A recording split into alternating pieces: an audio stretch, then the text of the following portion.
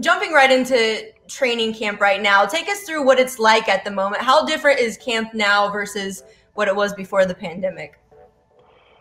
Um, it's definitely a little bit different. Um, everybody's wearing masks. It's kind of a little awkward in meetings, uh, trying to hear the coaches and hear everybody uh, speak their piece and get the message across. So it's just um, it's different in that regard, and it's keeping your distance from everybody in the facility. But for the most part, it's uh, once you get on the football field, I mean, it's it's the same game that you've been playing, and um, and because the the trainers and everybody have done such an unbelievable job of keeping the environment safe and uh, and and and staying on top of you know I mean the COVID spreading around in the facility um, because they've done such a great job with that. It makes you feel comfortable being in the environment. Given the fact that there's no preseason games, are you guys confident you'll be ready for kickoff with it only being a month away?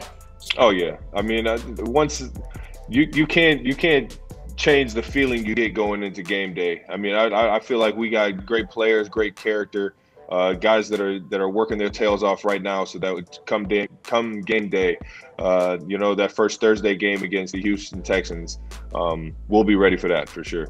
Obviously, as a vet, I'm sure you're more than okay with the cancellation of preseason football. And say every team is prepared for the start of the season the way you guys are preparing now. Do you think we should have a preseason games in the future?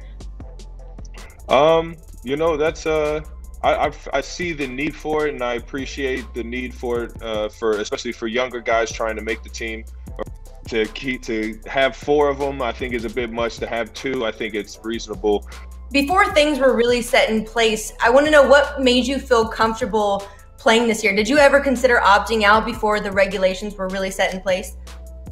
Um, I mean, you have to think about it. You have to think about the worst case scenario, and um, you know what? It's uh, at the end of the day, I think that the NFLPA and and the NFL have done an unbelievable job of of having every team meet a certain mandate and, and, and abide by all the rules that, that we have set in place for a safe environment and a safe season of football. And uh, because I I heard of what was going on and, and I and I you know I I just I knew that Kansas City was going to do its job, and if Kansas City is doing its job, everybody in the league um, is uh, is going up and has to get measured to that same standard. So it's just um, it's having faith and trust that uh, everybody's going to be accountable and and moving on from there. But I think that uh, I think we're going to have some fun playing football this year. Hopefully, we get the fans out there sooner than we think. But um, if if it's a few games where where we miss the fans, you know, uh, we'll just go out there and play our tails off for you.